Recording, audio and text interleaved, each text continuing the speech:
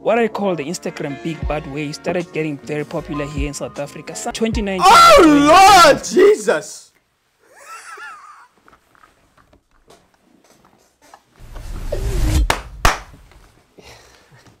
Bro, I did so well, no? And then like I stopped again. So kijk na now we're really back, bro. I figured out how this um, reaction streaming thing work, bro. Like it's gonna be way easier. So I'm gonna get the the videos out for you.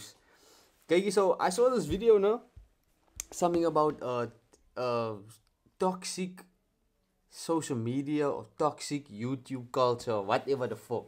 Um, I downloaded the video, so credit to the creator. I don't know your name now, but because I downloaded the video, but I found this very interesting because why?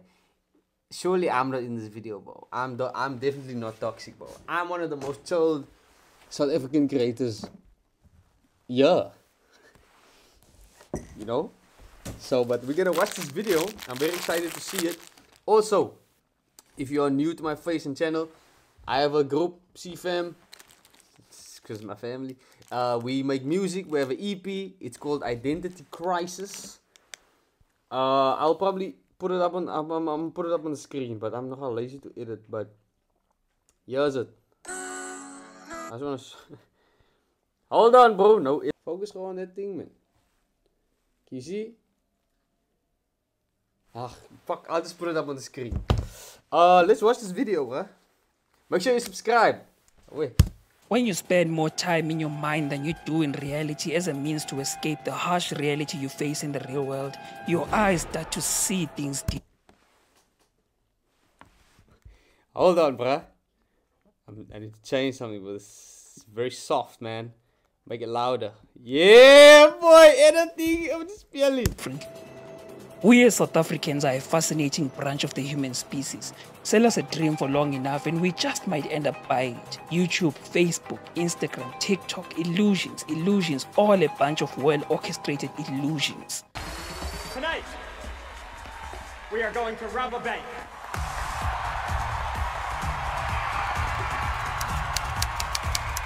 Oh, that's a. Oh, uh, shout out to Melusi Jubane. Julane. Is it the L or B? I hope I'm saying your name right, boss. It's not a hate video or nothing. I really just want to see what he's saying. You're bro. not a famous musician. You're not a famous YouTuber. You're not living as a millionaire. And you're not living that dream life. You have to wake up every day tired and fatigued, but still you have to what go to school. Why is this thing here, man? Can some. Oh, I can move it. You have oh, to go to that job, that manager you despise. Your phone is your escape. Social media is your escape from this cruel reality. Your brain finds joy and adrenaline in seeing someone else living the life you always dreamt. Your boy bought a mansion, baby. Shout out to Ghost, bro. I don't know him. Like I don't, I don't, I know him, but I don't know him. Does that make sense? Like I know who he is, but I've never met him. But I know he's doing his thing, bro. He's like meaning of illusion. An instance an illusion is a distortion of the senses which can reveal how the mind normally organizes and interprets sensory stimulation. Although illusions distort the human perception of reality they are generally shared by oh, most people. like illusions may occur with any of the human senses but visual illusions are the best known and understood illusions. The emphasis on visual illusions occurs because vision often dominates the other senses have you recently noticed videos of some extremely smart south african youtubers like ghost Klubi publishing videos like this, for example, my I, new car. What? I what? I what did he do? I I bought freaking ah! videos like Ghost Hlubi, publishing videos like I bought a 10 million rand mega mansion at 21. That's cap, bro. That's just cap. Am I wrong? That's cap. Probably rented it for a day. This, for example. But I get it though. That's it's gonna get views. Look, it got views. This shit got a million views. That's crazy. I bought my girlfriend a dream car. Or a car for my girlfriend. He does not state whether he used only YouTube earnings to make this purchase because he didn't even need to. He painted an illusion that being an African YouTuber averaging over 100,000 views means you can afford to buy that car. I can't lie. With the views he's getting, he probably can, bro. I don't like to pocket watch, man. Like I don't like if someone else is making money, you know, I feel like that's their business, you know. If he's a drug dealer, if he's selling ass on OnlyFans, it has nothing to do with me. I think people pocket watch too much in our generation. I can't even hear myself. Like, who, like okay, let's say he, let's say he can, let's say he can't afford it now. It's got nothing to do with us. you know what I mean?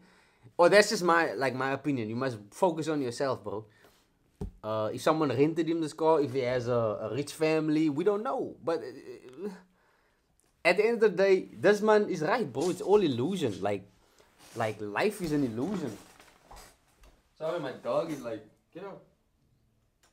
Go. Listen. He's gonna come back now. But at the end of the day, bro, just focus on ourselves, Owens. Like, but I get it though. It's all mind had already been programmed to equate fame or publicity to riches, but that's not even close to the truth. Actually, it's it far being- from the I call it truth. being This is for bro. you as the youth to realize we all have to grind and be creative. That's true. Ad revenue sharing on YouTube does not work the way most of you seem to believe. He clearly cannot afford that car from his channel's ad revenue alone. Emphasis on alone.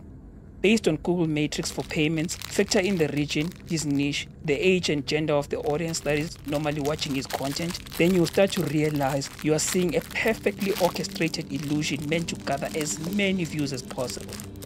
To begin with, smart. advertisers first look at the niche and the main reaching majority of your viewers are based. Here in Africa, unless you are in the finance and business niche, advertisers will not pay the kind of money they pay for placement on videos from European and American based creators. People who watch those Guys, that's a fact. People overseas make like four times the amount of money as South African YouTubers make. It's crazy. I remember no, like my highest month. I was averaging it was in the millions like for the month. Amount of views I got. And I watched the podcast no, of these American Owens where that bro got like the same amount of like monthly viewers, no? And he made like four times that I made, bro. So what this man is saying is is, is true. Like people overseas make way more money from YouTube than than we do here because you must think, no? Let's say you're in America. In America, there's more money. So people are, are gonna pay more ads to put on a YouTube video than they were here. Because here there's less money. If I if I summarize videos are most likely to click on an ad than those who watch the vlogs that you guys love to make these days. that's Just facts. take a look And sorry, sorry. Yeah, I was gonna say this Graham Stephan Bruno, he make probably way more than like the vloggers because businesses are more inclined to put to pay more money to put ads on like a finance channel, which tend to one has an older demographic. People have more money to actually buy products. So, bro, the money I'm giving away too much sauce, bro. on YouTube because he's in the business and finance niche. Having an audience from majority of European nations or the United States make you a lot more appealing to the advertisers. Yeah. The gap is so huge compared to having a South African based audience or an African based audience in general. Yeah. The key reason for this is because the development rate of nations across the world varies and we are still a developing nation. South Africa hasn't developed to a That's point where majority of the Shout out. citizens can afford things at a higher price like European nations. Take Switzerland for example, probably the most expensive country to live in. The standard of living in the Swiss country costs nearly two times more than that of the United States. So now imagine if you have a Swiss-based audience on YouTube. Aren't those people most likely to afford paying for a Netflix subscription after seeing an ad as compared to people That's my here in South Africa? bro. Because honestly, I'm a South African and I'm cheap. So Uh-huh. who do you think Netflix will pay more for an ad placement? You with your South African viewers Oh, or someone not. else with viewers mostly based in Switzerland and Canada? Believe me, YouTubers get paid really good here in South Africa as well. And yes, the bigger you become in terms of average viewer count, the more you make. But we as a nation haven't reached the level required to be painting this illusion of being YouTube millionaires and YouTube multimillionaires.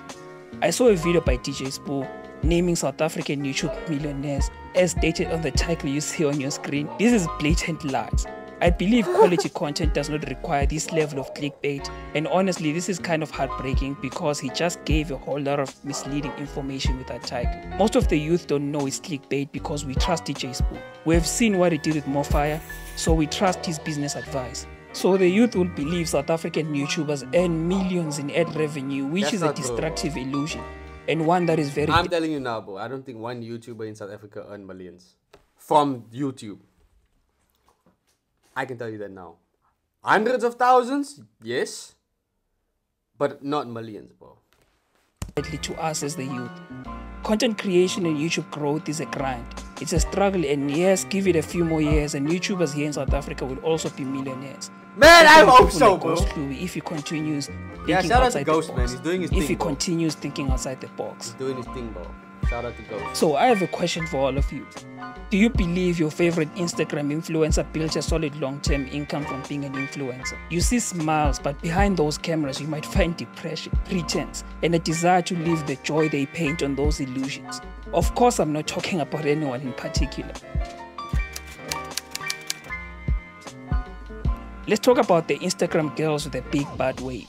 Yes, that's what I call it. What I call the Instagram big bad wave started getting very popular here in South Africa sometime around 2018. By 2019, Oh Lord Jesus!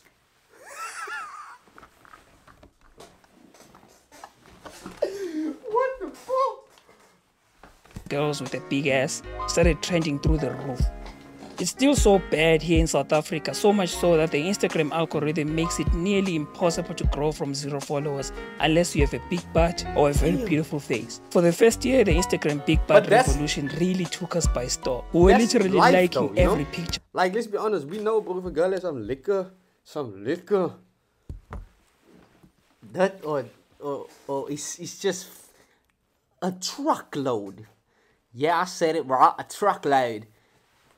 We know they're gonna get more likes. with and ass stuff, bro. or a pretty face. Look at the life, Paul bro. Say You for can't example. your She's literally then like the African version of Kim Kardashian, but without the infamous tape, of course. One million followers. Why? How?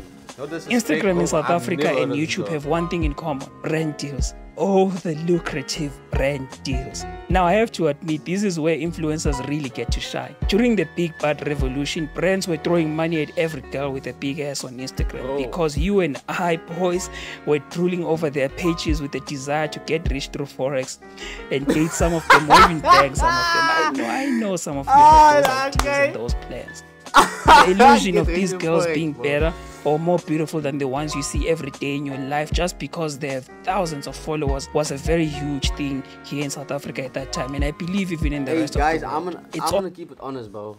Like a lot of you need to just focus on yourself, bro. I can tell you now, a lot of these girls that have these lot of followers, they're never gonna smash you, bro.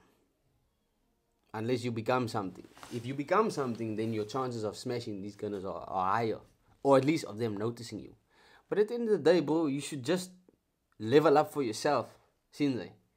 Like level up for you like life bro i'm very big on self-improvement now and, and like i want like at least if you're a guy at least watching this now, now you should level up bro you, that's the only thing you should focus on bro when i used to be ugly nah, got no goodness started getting in the gym get lean you know what i'm saying look nice make some money bro illusion. Successfully painting an illusion seems to be a very lucrative business. For these Instagram influencers, it should Facts. be more like fake it till they pay for it. that's facts Now tell me, how many girls do you come across while scrolling on your feed that have more than 100,000 followers here right now in South Africa? How many of them have brand endorsements on their feed? Yes, it has become a dog eat dog world right now. There are now probably thousands of girls with more than 100k followers, and brands can't pay for all of them. Brands go for the biggest influencers like Bomb, Bianca Costa, just to name a few of them off the top of my head.